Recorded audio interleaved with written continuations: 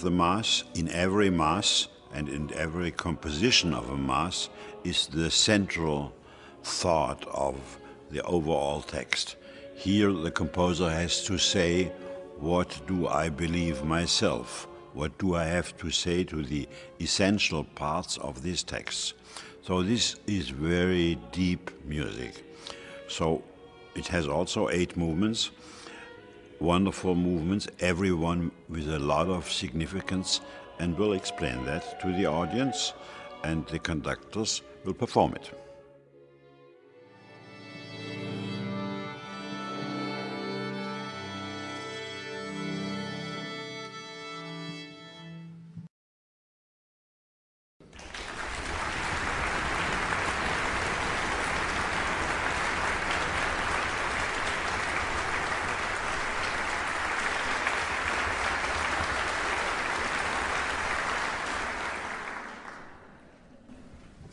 Very much for this beautiful diminuendo.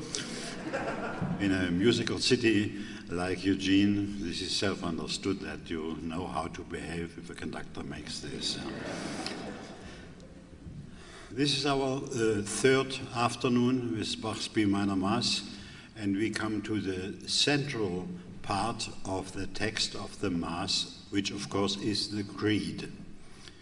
You see, every composer composing a mass um, and coming to this text will be uh, challenged because he has to say what he believes himself. What is his faith? How does he understand a text which is many centuries old but says credo, I believe. What do I believe?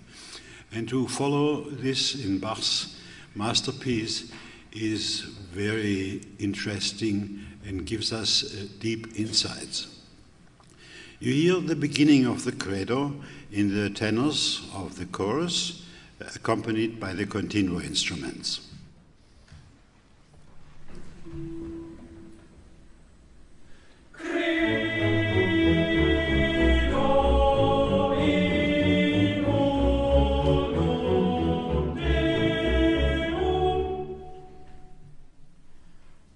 What the tenors sing is a Gregorian chant theme. And we see Bach at the beginning of his personal credo coming back to the old church music.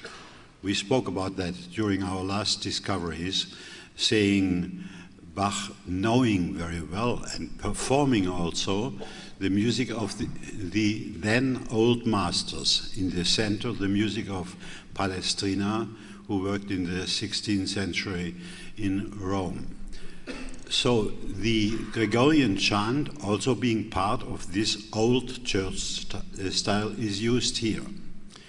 You will hear now that the other sections from the chorus, after the tenors, the, the basses, then the contraltos, then the both sopranos, and then in addition to that, the first violins and the second violins will sing and play the same uh, theme. So this will sound like an old motet. And the only difference from Palestrina is that the continuo has this steady pace of relatively fast notes. Now, hear the opening.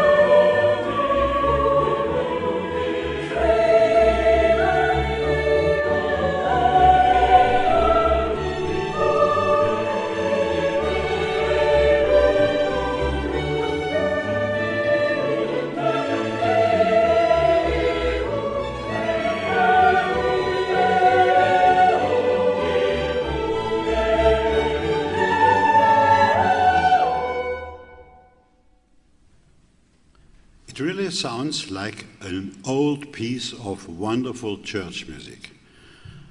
Now think, the text uh, says, Credo, I believe. But Bach does not uh, say, I believe. He says what centuries before him church music has already expressed a general credo. This goes for many individuals in a congregation, in a church. So he stands back personally and says, This is our faith and has been such a very long time ago.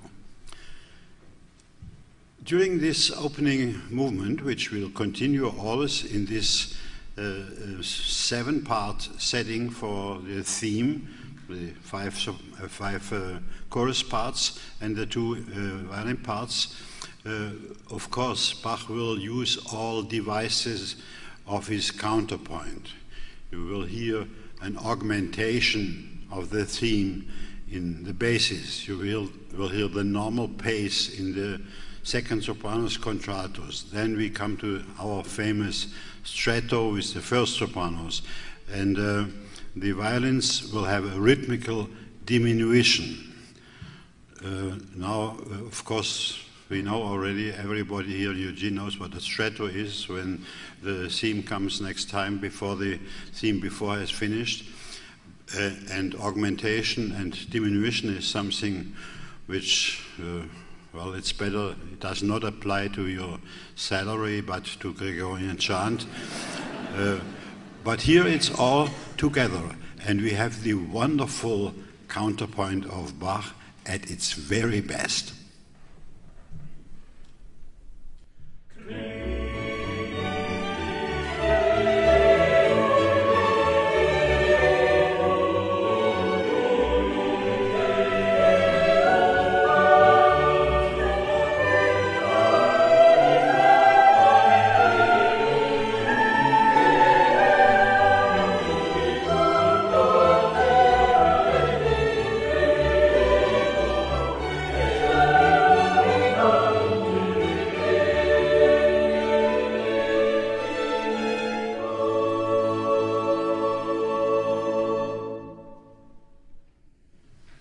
this is the opening movement of the Credo to come, and Bach has to continue with the text Patrem omnipotentem factorem coeli et terrae, the Almighty Father, the maker of heaven and earth.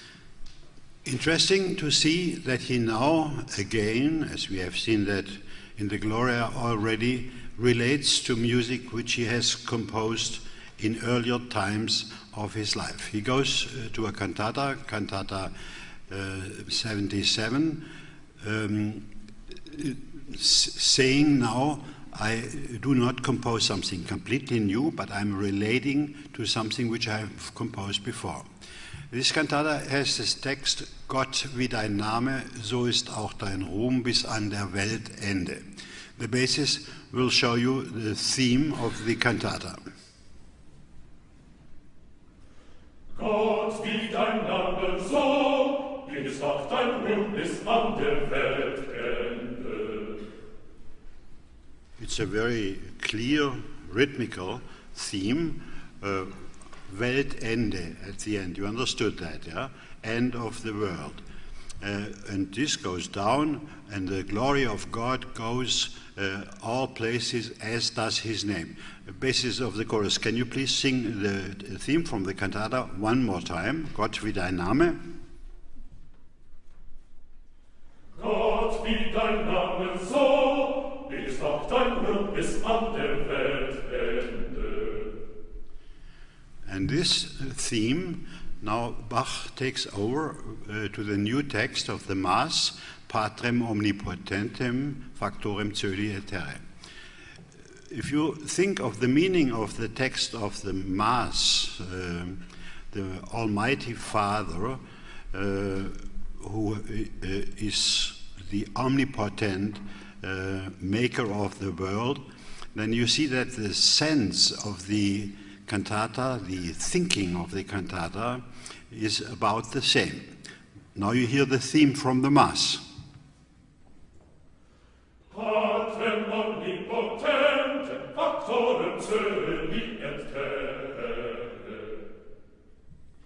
Of course, this theme will not stand alone. You will hear it at the beginning in the basis, but Bach adds other parts in the chorus and the orchestra to these themes. And the interesting thing is that he uses now the text of the first movement connected with the text of the second movement. Uh, the first movement said, Credo in unum Deum, and exactly that is it what the voices in the chorus sing. So the theme, which the bass have now, comes in three times in the basses, in the tenors, in the contraltos, and always on top of that, Bach has chords saying Credo in unum Deum. He wants to connect these two movements. What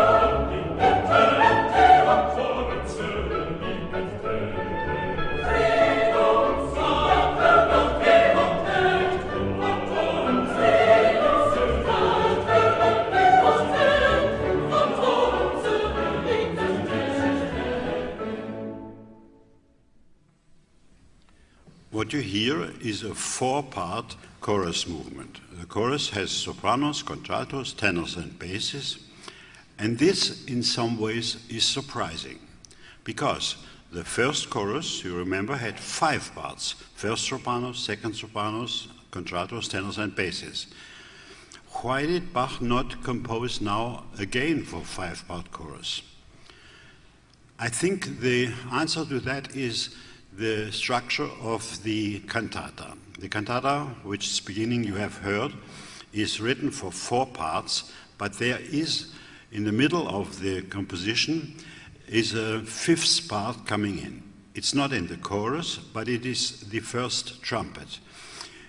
With the th same uh, theme which you have heard from the chorus, uh, the trumpet comes in in a relatively low range, then goes always higher.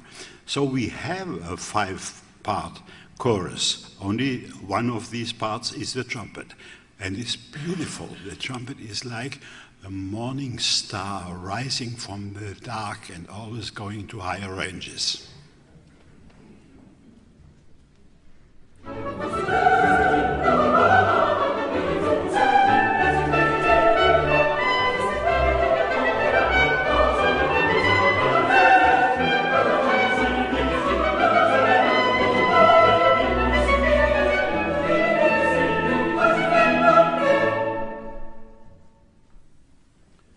Trumpet already in higher range, and now uh, you will see that the trumpet is always going in still higher and higher range.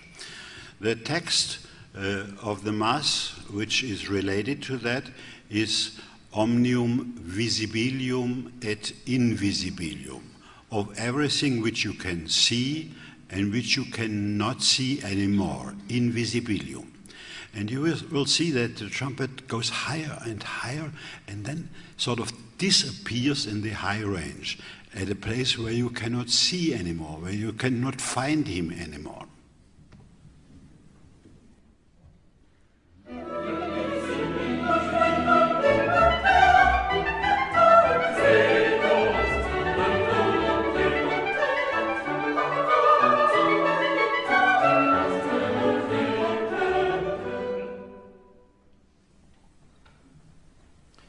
We saw two tutti movements. The chorus sang, the orchestra played, and they belong together. This is the beginning of the creed. We come now to the first solo movement. Et in unum Dominum Jesum Christum. Jesum Christum means the second person of God, and Bach reacts to this as he has done before when speaking of the second person of God with a two part vocal setting. So, uh, two uh, solo voices represent the second person. The text of this duet uh, um, has many very complicated theological aspects. Uh, the Son is coming out of the Father. Uh, he is the same as the Father, but he is also different than the Father. very complicated, and uh, I'm sure that uh, theologians will need many sentences to explain these texts. Bach finds one motif with which he can explain everything. It's a very short and very simple motif. It appears first in the first violins.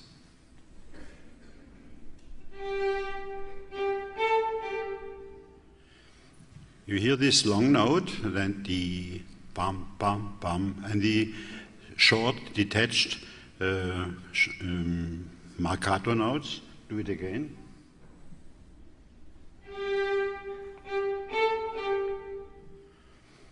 The second violins have the same notes. Now listen to that and observe the difference.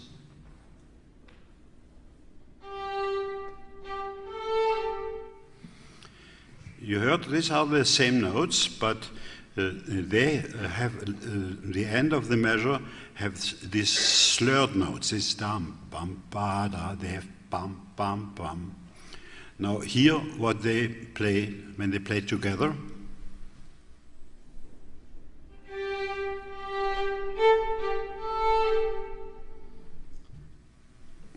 God the Father, bam, bam, bam, bam, the strong Father.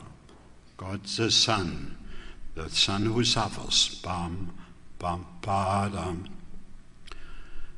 The Son comes out of the Father.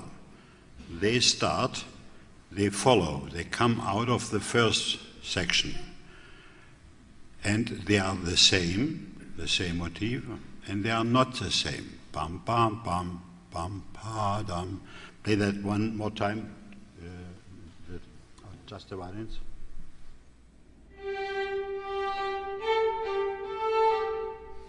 Incredible. Something which is sounds so simple, and Bach can explain these difficult and problematic theological thoughts. This uh, theme, which you have heard, will be uh, uh there throughout the whole duet we show you the introduction uh, with this canon of the upper instruments.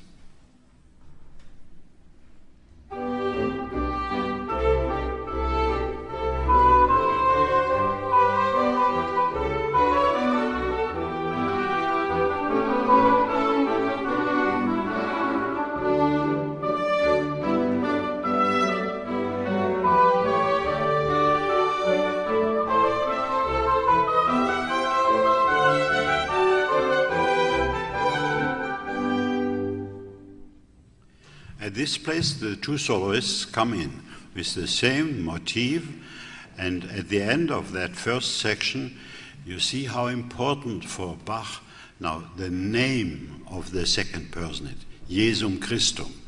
He gives the soprano a high A, the highest note of the whole movement.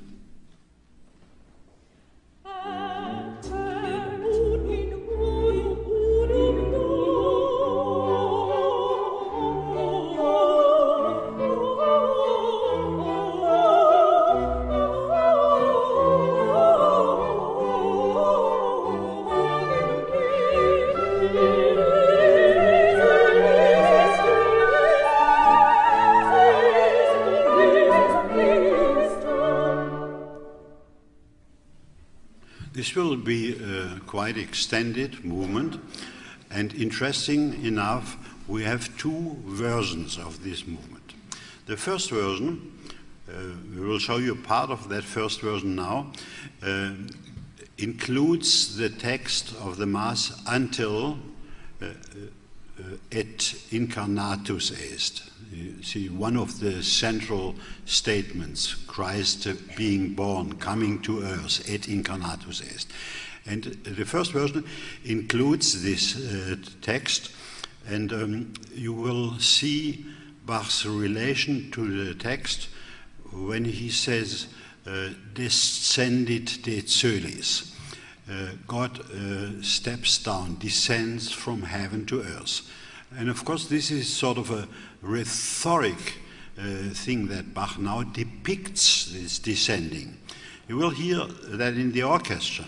The violins will start in a high range, the, the first violins, then the seconds, and the viola will take over, and the continuo will take it also. So it goes like this God descends to earth. And after that, you will hear a pianissimo of the orchestra, and then the words et incarnatus.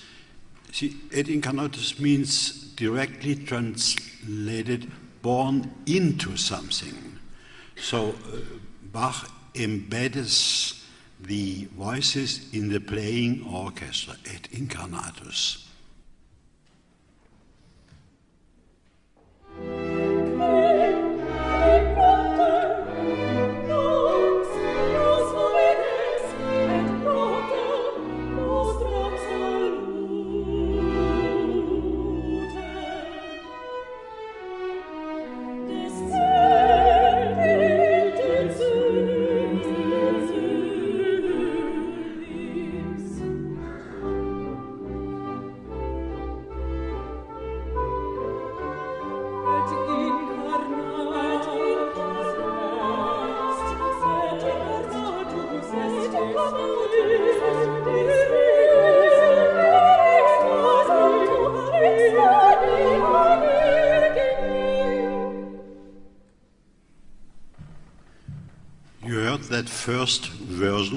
Duet.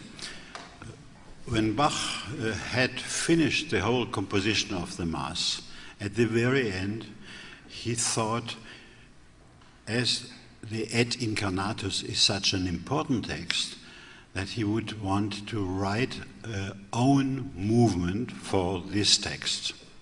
So he changed the text of the duet, uh, stretched the text out, so it had the text until the Et Incarnatus. In the next movement, which we are doing now, had the text Et Incarnatus. Et incarnatus. I explained to you this descended, and you heard how the violins, the string instrument, made, made this gesture. Is uh, again something which now is responsible for the writing in the coming chorus. Et incarnatus. The contraltos will show you the main motif. You will hear that it starts on a high note and steps down. God is stepping down from heaven to earth. Down, down, down, down to earth.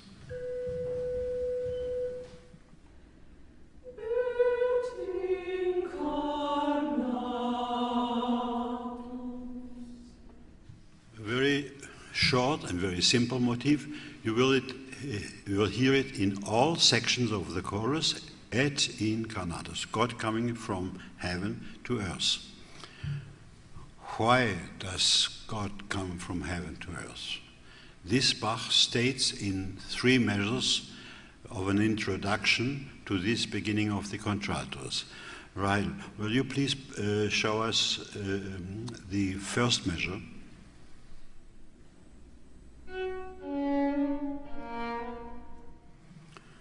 Also, very simple, five notes. But these five notes have a very special significance. If you would see this in the music, in the printed or written music, and if you would connect the first note with the fourth note with a dash, make this dash, and then the second and the third note also with a dash, you would get the sign of a cross, of a lying cross. yeah? This is this motif. And um, the tutti violins, first and second violins, will play that. And you understand, God comes from heaven to earth because he has to be crucified. This is the very idea of Bach.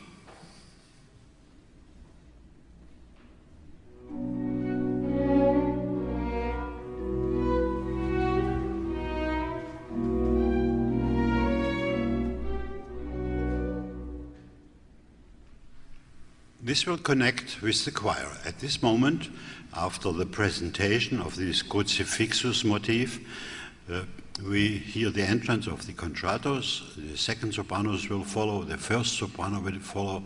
Always with this gesture from heaven to earth. If you look very carefully at the bass part, if you listen to the bass, basses, They come in as the fifth, the last voice, and their last note will end on a dissonance. And if you would see the score, that you would see in front of this dissonance a cross. So again, the idea of God coming to earth for suffering at the cross is intensified. We show you the beginning of the piece.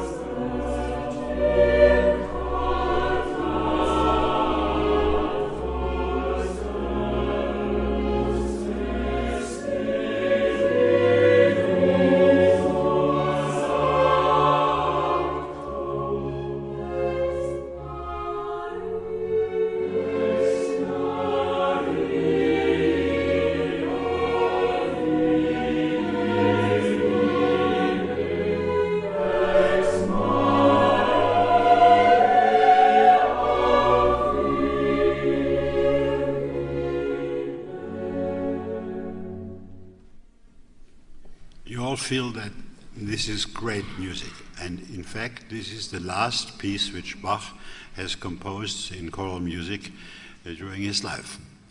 The piece has uh, three vocal sections. In the last section, uh, we observe something which also is very special and unique. This cross motif, which you have heard from the violins, is now taken over by the continuo instruments, by the cello and the double bass, then by the second violin separately and the first also separately. So in canon, that this is intensified three times, or should I say three crosses on Golgotha.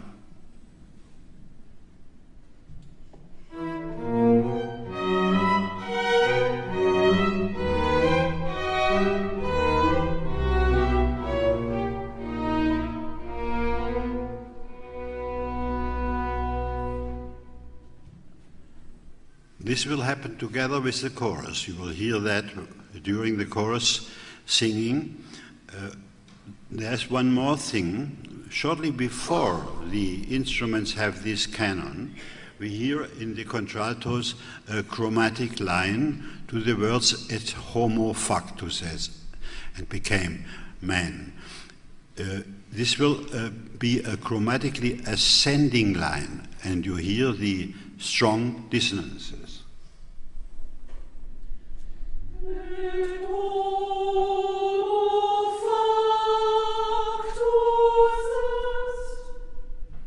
We understand as homo factus est, and at the moment where the text says and became man, the crucifixus canon instruments starts.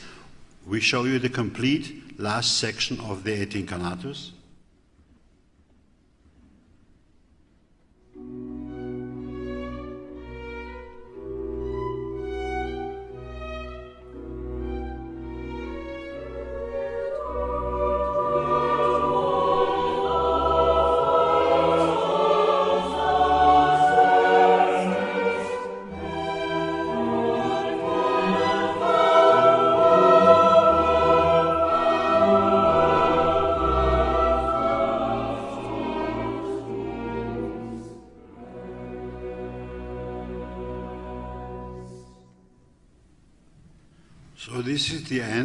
The Incarnatus movement, and we go to the Crucifixus, which is the next movement.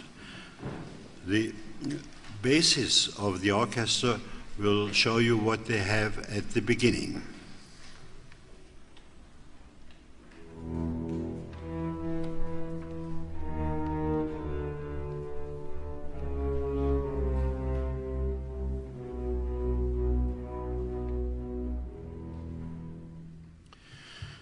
In musical terms, we call that a lamento bass. That is, the bass instruments begin on that high note and descend chromatically. This is the inversion of what the contraltos sang before. And what you will hear in the Crucifixus is now a special musical form which Bach uses in the Mass only here, only once in the whole Mass. Uh, this is a chaconne. A, a chaconne is a musical form where the bass always plays the same. So what you have heard from the bass instruments alone now, they will repeat throughout the whole crucifixus movement. And the other sections above will say the text, crucifixus, and so on. When Bach thought about uh, composing this chaconne, uh, he must have thought that once in his life already he wrote a chaconne with this theme. And this was uh, many years before the composition of the B minor Mass, when he was in Weimar writing his first cantatas in the year 1714. He wrote a cantata with the text Weinen, Klagen, Sorgen, Zagen, uh, crying, lamenting, being full of sorrow, doubting. And this cantata has that uh, chromatic bass, and on top, the voices of the chorus. We are in a different tonality now, we are in F minor, and we'll show you the beginning of this cantata.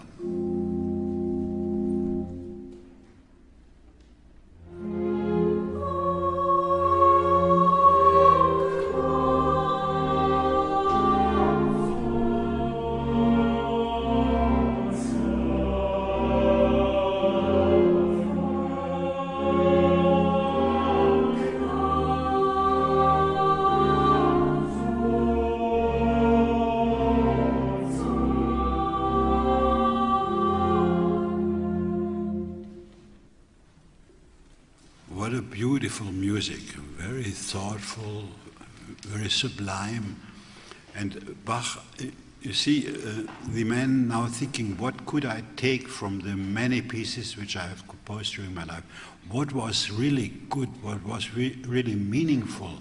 And he re- relates back to something which he has written as a young man who is now at the end of his life. So, this music uh, you will hear trans- transposed to E minor, and with a slightly different instrumentation. We had only strings in the cantata with divided violas. Now we have uh, the strings, in addition uh, to them, the flutes play, but the music is the same. And Bach is saying the words Crucifixus.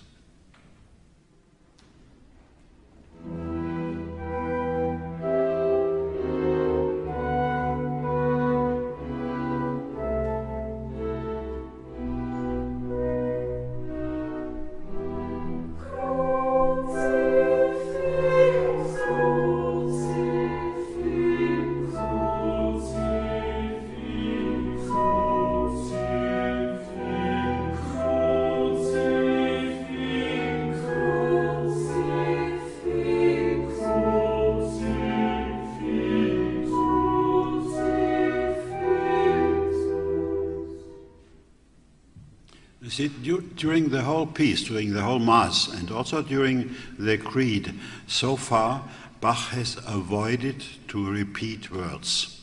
You remember what I said before about the Et incarnatus. He, cut it out from the duet because he wanted to write a, a new movement for the Et incarnatus. And here you hear him always repeating crucifixus, crucifixus. So he wants to say this is the center of Christian faith that this man, Jesus, the second person of God, was crucified. And he meditates that it goes always on and on and always on the pain, lamenting base. We'll show you a later place in that composition. Um, this is, I call it a variation because always the same bass. One where after this meditation at the beginning, now comes to Bach comes to the, should I say, cruelty of the crucifixion. he has very strong dissonances in the chorus entrances. And after this section at the end, he comes to the word sepultus est, was buried, and uh, the basses in the chorus go to their uh, lowest possible note in that movement to allow E.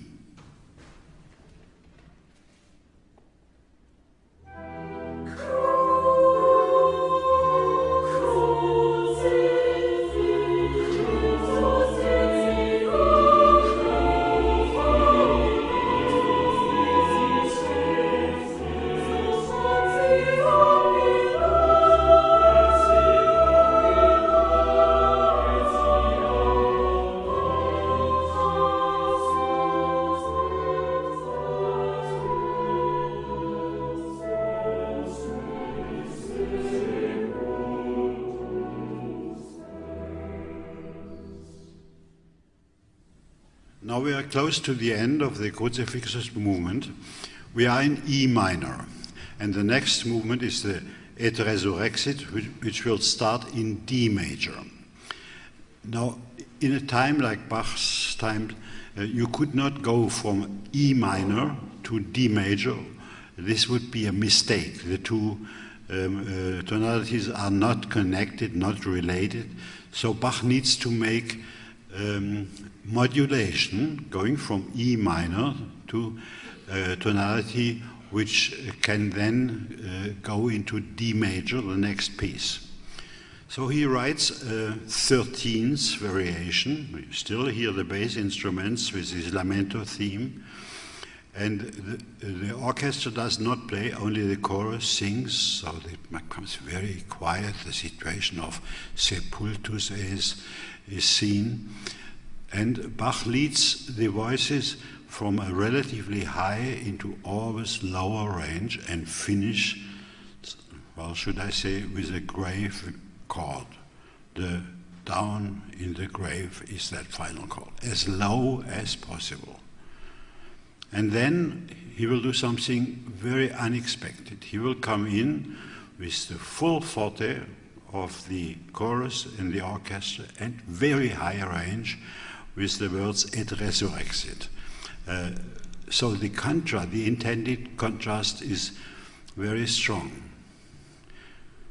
Maybe also something, when you hear that uh, 13th variation, the piece has been very dissonant. And somehow Bach is able to take away these dissonances, to make the music always friendly at the end. So to me it seems like Easter Saturday coming and you expect something and something which will happen and then it comes.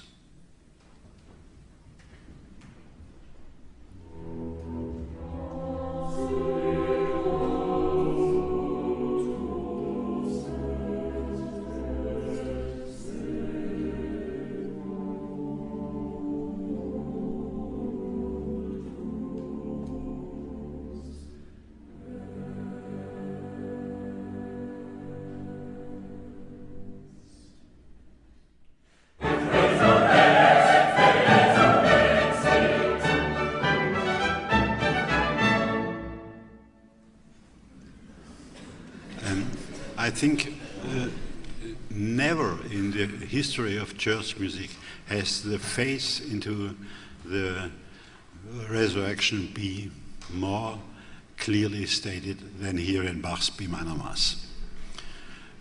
Resurrection. Now we are on Easter Sunday.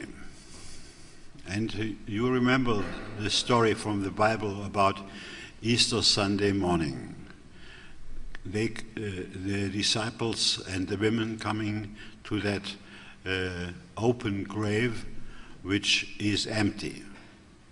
And then they run, run away and say, there, There's nobody, there, there is not anymore. He, he, resurrectionem. Now, hear what Bach composes. He has the basis saying resurrectionem.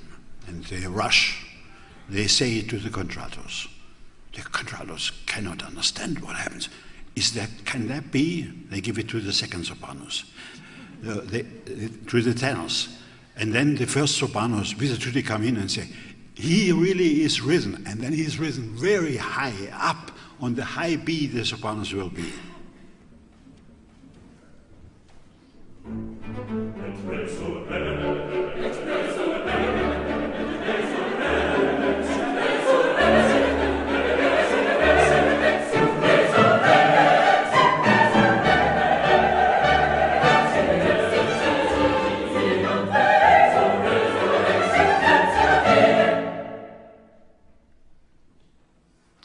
should also say that this theme, which you hear in the sopranos first, is again, and we have seen that before, a perfect theme. Perfect in that way that if you read the music, the notes from the beginning or from the end, they are the same notes. A perfect theme. Bach will use this theme throughout the whole movement uh, with different texts. The next text, which he states and explains very clearly, is the Et ascendit in coelum. Uh, the ascension is now depicted. You hear the trumpets with that theme which I described. Then you hear the tenors, the second sopranos coming in with an octave leap, ascended, of course, must but jump up, and all voices go from a low into high range. Then it says, sedet ad dextram patris, he sits to the right of God, and the basses will state that with a strong octave sound, sedet ad dextram patris.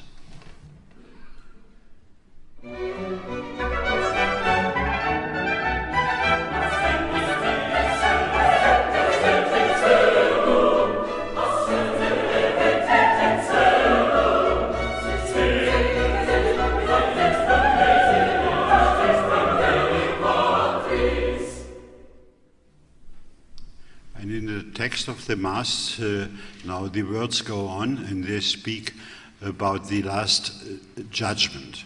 Et iterum venturus est, and he will be coming again. And ag- again, as Bach uh, can do it so often, uh, he uh, finds something very special to depict this. He gives the orchestra an introduction where the bass instruments are exposed. They have solos alone, uh, uh, rumbling and thundering solos. And then he gives a solo to the choral bass. The basses of the chorus sing these words of the Last Judgment with utmost vitality.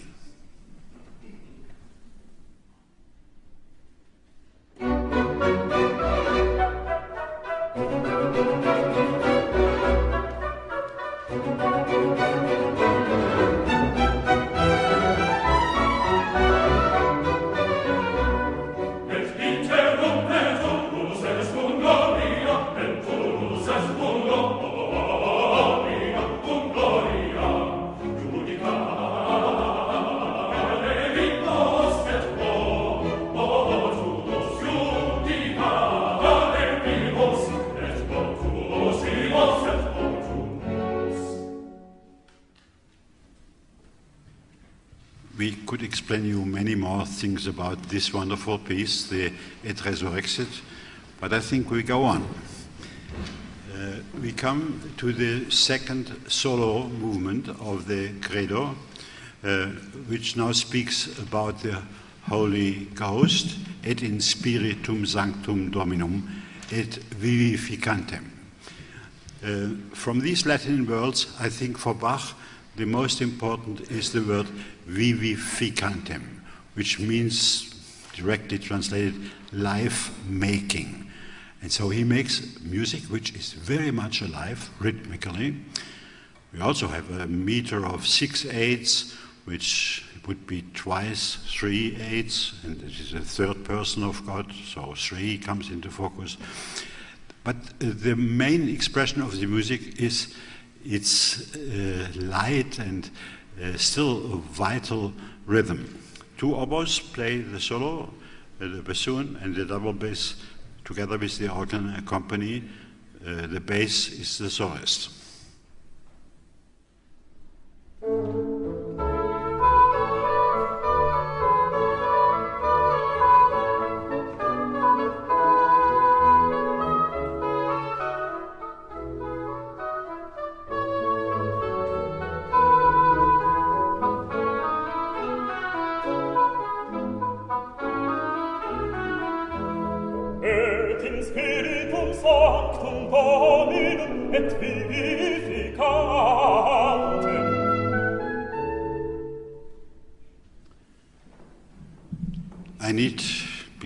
Time, I need to go on uh, to the next movement. Uh, the next movement has the text Confiteor unum baptisma. I confess one baptism. Bach, again, as at the very beginning of the Creed, uh, uses the chorus nearly a cappella. The five voices sing, and only the continuo plays in addition to them. At the beginning, you hear a short fugue where every section in the chorus says very firmly, I confess, unum baptisma, uh, confiteor, and you hear the uh, voices coming in one after the other.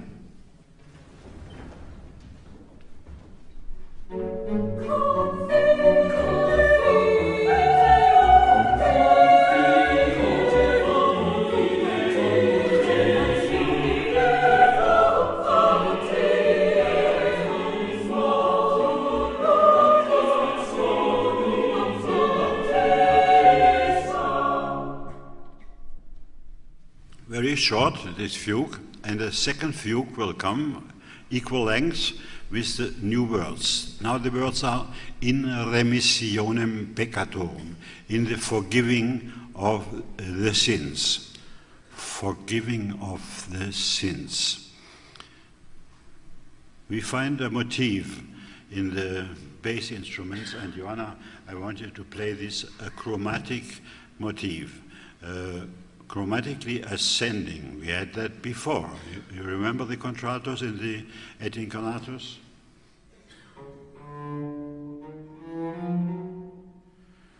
So this is underneath of that second fugue. Uh, forgiving the sins is only possible because Christ was crucified. Now you hear the five-part chorus, one section coming in after the other, again with that second fugue in remissionem peccatorum.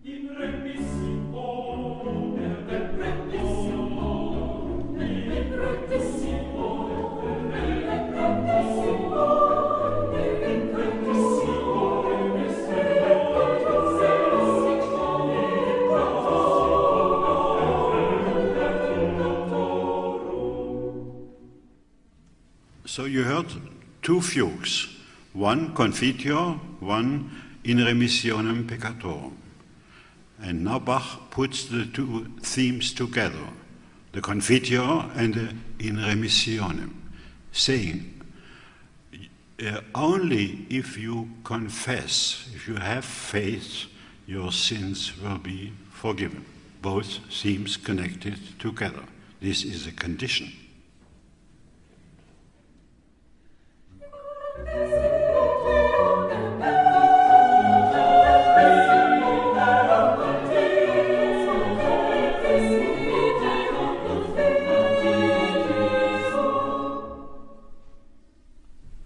This will be a very long movement, and obviously Bach plans to say things which for him are very important.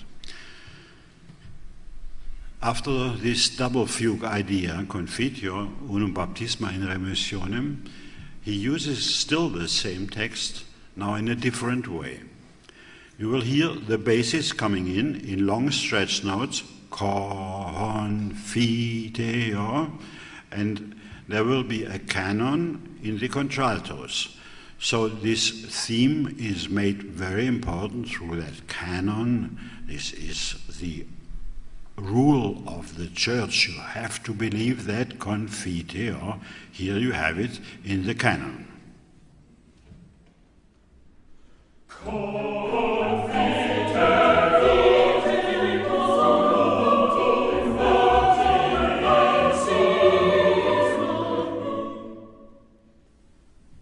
And a little later, you will hear that same theme and again the same text, confiteor, in the tenors. Now, in the augmentation, which means instead of confiteor, they do confiteor. of all other sections, of course, sing also their text, and uh, the continuing instruments always go on playing with them, but the tenors are stating this as a cornerstone of Christian beliefs.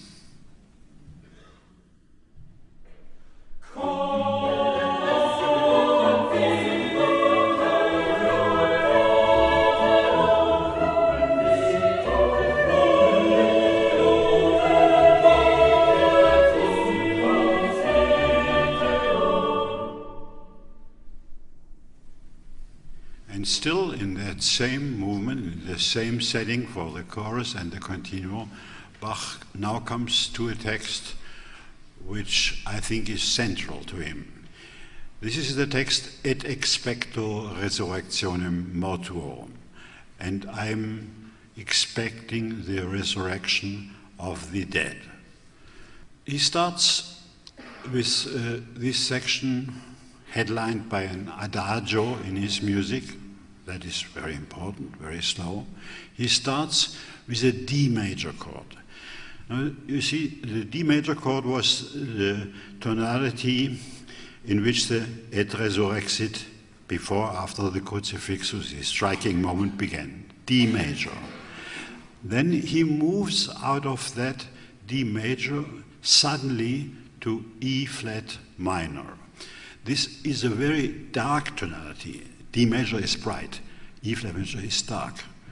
And if we look at Bach's work, uh, he has used that chord very rarely, but in one piece in a very impressive way, which you never forget when if you have heard that place once. It is in Matthew Passion, uh, where uh, Christ says uh, his last word, and he says, Eli, Eli, lama asabthani, uh, my God, why hast thou forsaken me? There he uses this E flat minor chord. Now let's think what that means. He goes from the certainty of et resurrexit, this, the no doubt about that, into can I believe that? See, in the cinematic passion, this is the moment where Christ loses his face. My God, where hast thou forsaken me? And so does Bach lose his face here? He is not the sure, the certain fifth evangelist anymore. He doubts a central uh, point of Christian faith. And when you hear this section, you will, after uh, this E flat minor, you will have uh, hear very obscure modulations. You will not understand where we are, harmonically speaking. But in this obscured harmonic situation, you will hear small motifs which will lead to D, ma D major. This will be first in the first sopranos, this will be then in the basses, then in the tenors, uh, and somehow it is like a blind man groping for something which he cannot see.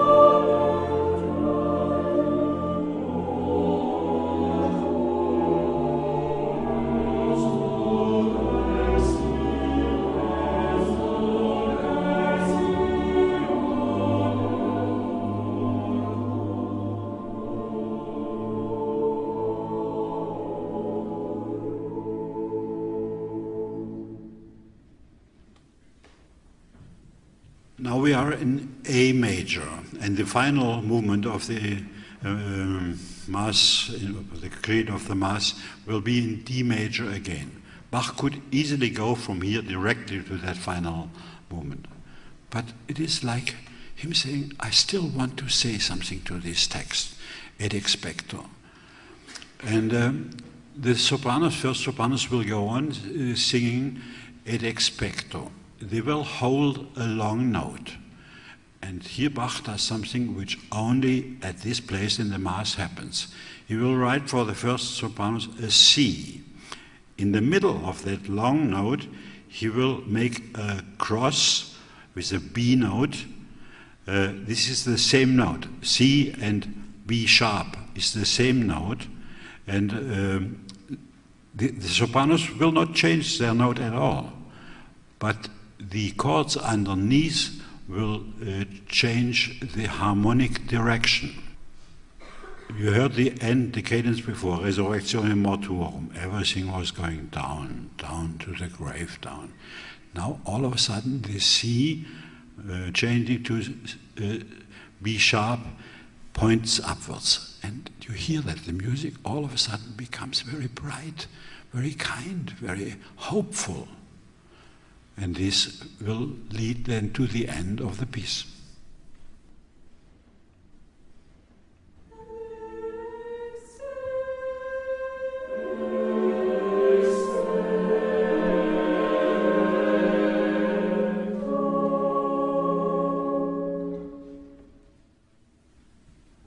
Let's look at the transition from this a cappella continuo piece to the now tutti piece. In the last measure, we have a strong diminuendo. Everything sort of disappears and goes to nearly nothing.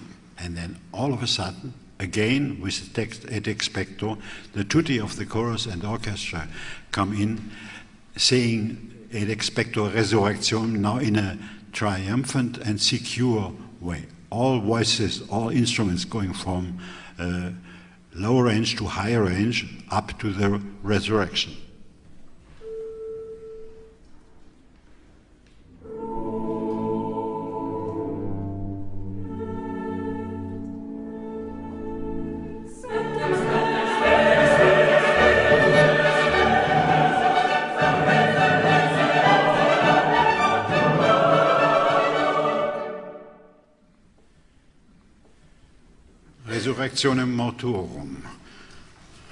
How will that look like? How does one imagine such an incredible text? See, when you go back of this hall to your beautiful graveyard, which is behind here, now could you imagine that this happens, that the graves would burst open and the dead was, would be walking out. Can you imagine that? Bach can. He writes an orchestra and chorus setting where this tendency of jumping upwards is depicted as here at the beginning. But then he writes, in addition to that, a solo for the timpani. See, a solo for the timpani in Bach's music is non existent otherwise. It's always the timpani being the bass instrument for the trumpet group. But here are no trumpets, only a timpani. So you hear, you see the earthquake uh, opening the graves.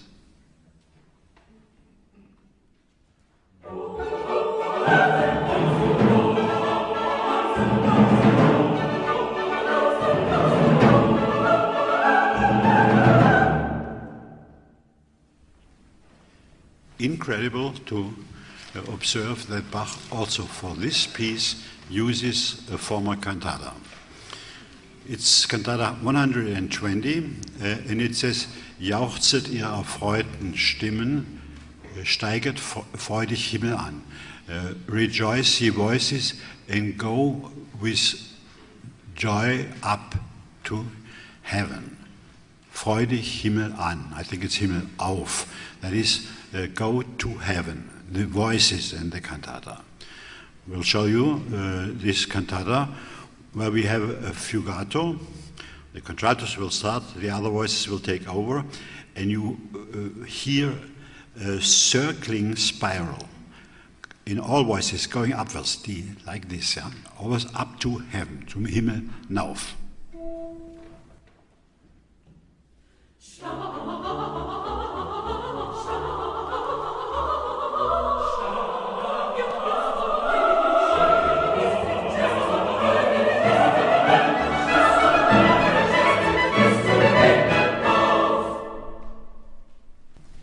This music Bach uses for the new text Resurrectionem Mortuorum. And the cantata explains the Mass, steiget bis zum Himmel nauf. She, those who were in the graves, are going up to heaven, steigert bis zum Himmel nauf. Directly you understand what Bach meant.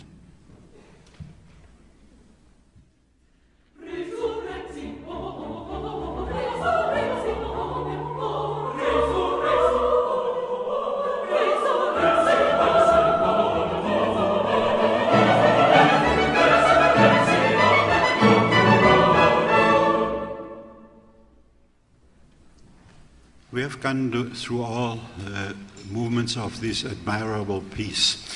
And before I stop, uh, let me also mention that, of course, for such incredible, uh, an incredible creation, Bach needed a plan. What do I want to compose?